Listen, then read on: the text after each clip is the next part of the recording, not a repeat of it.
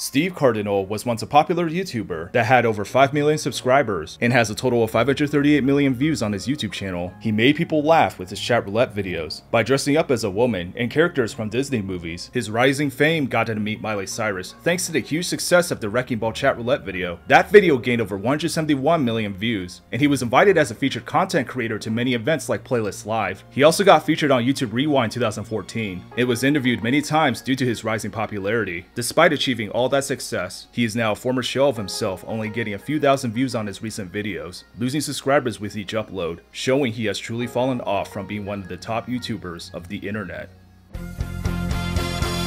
Steve Kardynal always had the passion to entertain people. He made videos with his friends for his student news class when they were in high school. The videos they made were played on the TVs throughout his high school hallways once a week. They named their film group All You Can Eat Productions, and Steve shared some of those videos on his YouTube channels. Steve Kardynal created his first channel called Dominator 005 on August 13th, 2006, and posted videos of himself doing comedy skits in his bedroom. He also created a different YouTube channel named Dirt Humor. The main stars of that channel are himself and Billy Chester. They made a second channel called SB Dirt Humor, where they mainly posted behind the scenes videos of making their sketches. They both got a viral video on his Dirt Humor channel called For MySpace Picture Comments back on January 2nd, 2009. That video gained over 1.9 million views. Steve Kardynal and Billy Chester abandoned both their YouTube channels in November 2009. Steve posted his first chat roulette video of him pranking random strangers on the internet. He pranked them by pretending he's a girl while wearing a bikini. That video doesn't exist on any of his channels anymore. It was re-uploaded on a few random YouTube channels. He got his big break by releasing a chat roulette video called Lady Gaga Telephone. That video got him over 3 million views. Back when G4 TV was a thing, the program called Attack of the Show featured his video, and Perez Hilton retweeted sharing that video. Even Jay Leno shared the video on his show. That video is now deleted on his Dominator 005 channel and re-uploaded on the Steve Kardynal YouTube channel. Thanks to his successful chat roulette videos, Steve would start to get recognized in public. He didn't like the fact he was being called Dominator 005, since that was his YouTube username. He wanted people to know him for his actual name, so on February 8th, 2009, he created the channel Steve Kardynal. Due to YouTube not allowing people to change usernames back then, he started off posting comedy sketches and vlogs with his friends, while mixing the chat roulette videos on that channel. On November 6, 2010, he created another channel called Steve Kardynal 2, which would be changed to many different names throughout the years, and posted a video that same day called Peacock Chat Roulette Edition. He also eventually moved his vlog videos and would post behind the scenes footage of his main videos to that channel. He also created the YouTube channel Stefan iPhone, where he recorded random things with his iPhone. Steve eventually abandoned his Stefan iPhone channel, and to this day, renamed the YouTube channel to The Bearded Princess and removed all his videos on that channel. Steve posted his first public prank video on his main channel called Eminem Love the Way You Lie featuring Rihanna, Apple Store version, on July 13th, 2010, where he would sing along to that song in public to get people to smile, laugh, and make their days better. That video was a success that got him over 3.9 million views. He posted another video on August 3rd, 2010 called Steve Does Warped Tour, where Steve would just randomly dance in public wearing pink short shorts and a fanny pack to make people laugh. He even got a few people to randomly dance along with him. That video was also a success that gained over 5.9 million views. Many people subscribe to his channel because they appreciated how much self-confidence he has to not take himself seriously in public and use it in a positive light to make people's days better. Steve posted a comedy sketch video called Dance Like No One's Watching and posted a video called Post This on Facebook to get people with Facebook accounts to share his video on people's Facebook walls. Steve made the trip back to his local mall to film a video and posted Steve Kardynal is not afraid. It's a video of him singing along with Eminem's song to random strangers while walking around the mall. He's singing along to the song Firework by Katy Perry at an Apple store and posted that video. He made another video on chat roulette, pretending he's a girl in a bikini. He also went to his local gym to play with the shake weight for his YouTube video.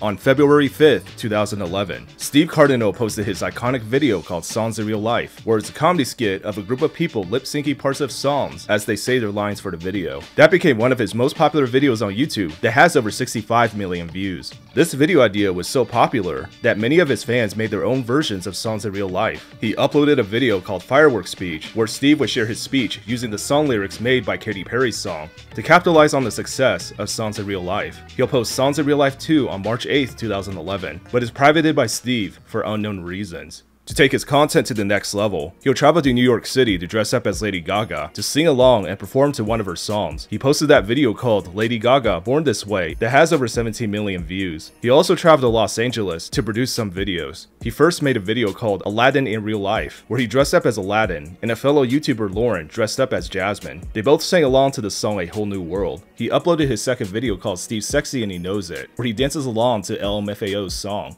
He posted his third video he made from LA called Girl in Bikini at the Beach. This video was mainly him going up to random people at the beach dressed as a girl while trying to get a reaction out of them. He also posts Songs in Real Life 3 along with those videos. Steve Kardynal posted a chat roulette video called Call Me Maybe chat roulette version, where he cross-dresses as a woman, singing along to the song Sung by Carly Rae Jepsen. That video got taken down for a little bit, because one of the people featured in that video filed a privacy complaint. Steve posted a video on his other YouTube channel talking about the incident. He expressed his frustration on why the person would want it taken down, since he was only featured for a few seconds. He vented about how he's getting tired of putting all this effort into making these chat roulette videos, only for them to get taken down due to copyright reasons or privacy complaints. He would repost the Call Me Maybe video on his second channel before getting that video restored on his main channel. After watching the music video made by the cheerleaders from the Miami Dolphins, Steve and his friends created a parody music video of Call Me Maybe by Carly Rae Jepsen and posted it on his second channel. He also got chosen to participate in the Fiesta movement. The car company Ford provided him with a 2014 Ford Fiesta. They had him make videos of challenges, activities, and traveling vlogs, while Ford covered gas and car insurance expenses. On May 13, 2013, Steve celebrated hitting 1 million subscribers on his Steve Kardynal YouTube channel. Steve posted a video called Songs in Real Life 4 on August August 24th, 2013. The majority of the scenes took place in Los Angeles instead of his hometown in Michigan, while featuring YouTubers like Brock Baker and Jack Films. Steve also moved from Michigan to Los Angeles.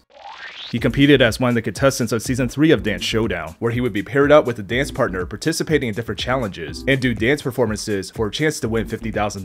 Arin Hanson, who's known from Game Grumps and Egoraptor, ended up winning the grand prize. Steve would also be invited to be back on the show for season 4, but this time as being one of the judges for the dance performances. This video became Steve Kardynal's best performing video of his YouTube career. On November 26, 2013, Steve posted a video called Wrecking Ball Chat Roulette version that has over 171 million views. That that video got over 21 million views in one day. It was put on the front page of YouTube, along with being put on the top 10 trending YouTube videos in that time frame. That video was shared all over different social media websites, and even helped Miley Cyrus get the number one spot of the Billboard Hot 100, ending the 9-week streak of Royals by Lorde holding that title. Miley Cyrus's management team reached out to Steve, thanking him for making their song more popular, and sent him a champagne bottle as a gift. Steve also got to meet Miley Cyrus and get a picture with her as well. He tweeted back on December 3rd, 2013, on how he hit 2 million subscribers the day before on December 20th, 2013. He tweeted about hitting 3 million subscribers. To capitalize on the success of his Wrecking Ball chat roulette video, he posted another chat roulette video called All I Want for Christmas Is You chat roulette version, where he would lip sync to Mariah Carey's song, and that video has over 26 million views. His rising popularity got him featured on YouTubers React, and he even got to do voiceover work with Cap'n Crunch to help produce an animated late night talk show interview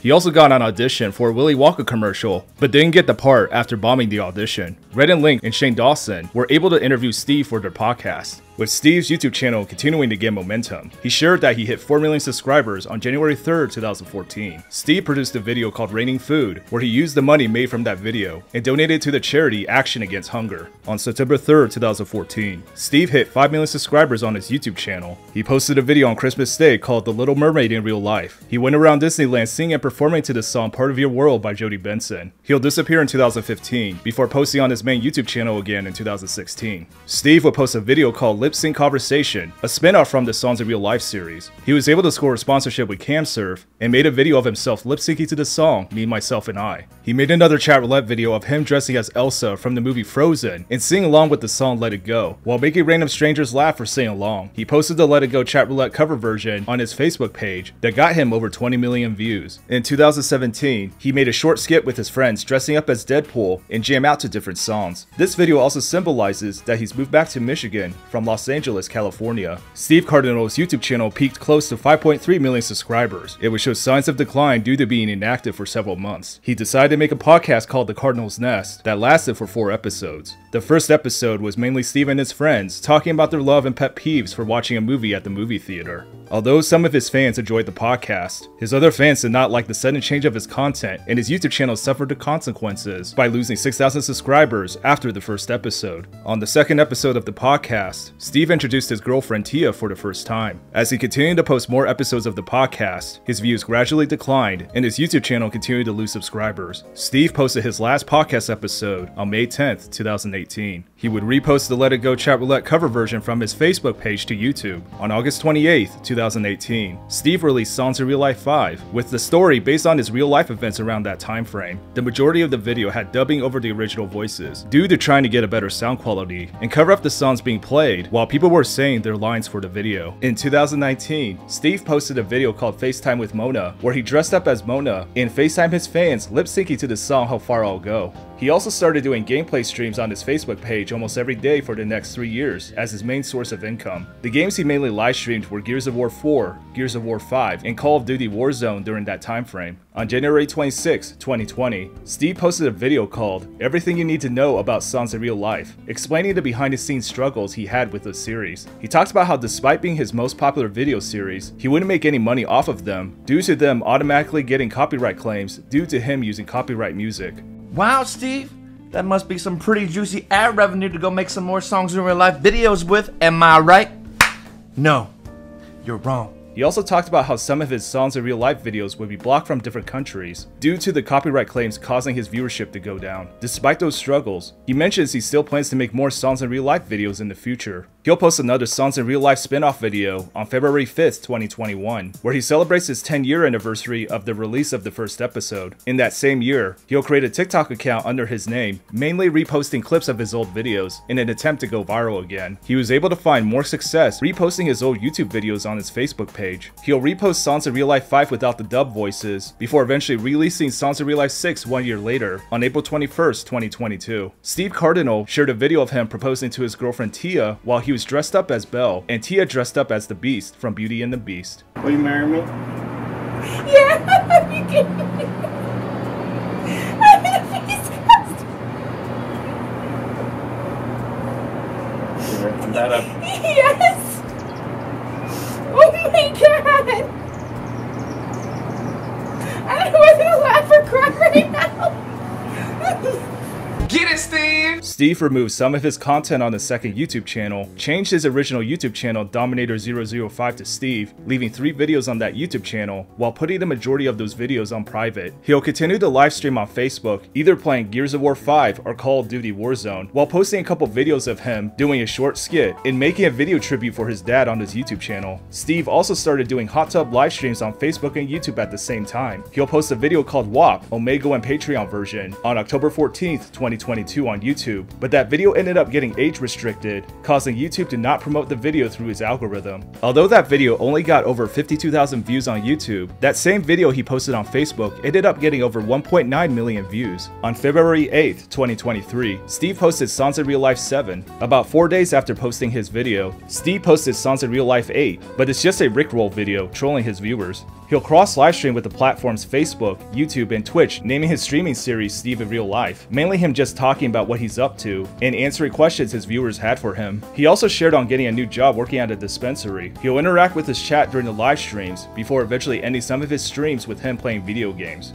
This type of content caused declining viewership and him losing more subscribers. Steve Kardynal ended up making the marriage official with Tia on November 21st, 2023. On November 26, 2023, Steve Kardynal posted a 10-hour version of his Wrecking Ball Chat Roulette video to celebrate the 10-year anniversary of the original release date. That video gained over 15,000 views, but it still caused them to lose subscribers, despite having a mostly positive comment section talking about the nostalgic feeling from that video. At the time of making this video, he lost over 300,000 subscribers from his peak. Despite going through those challenges, Steve would still be active on and off his Facebook page and YouTube channel. He's been posting and talking more about his interest in cannabis, and has scored a few sponsorships related to that along the way. Steve posted pictures from their trip of the yacht party on Facebook and pool party pictures on Instagram, hosted by his dispensary sponsors. He also ended up sharing photos of his fresh cut, and eventually shared the photos of the wedding in January 2024, which took place in Las Vegas. Steve started streaming again that same month, and has mentioned he's quit his job at the dispensary and plans to live stream more in the future. His most recent live streams are him confronting a guy trying to hack his Facebook page and going on omade.tv dressed up as a woman.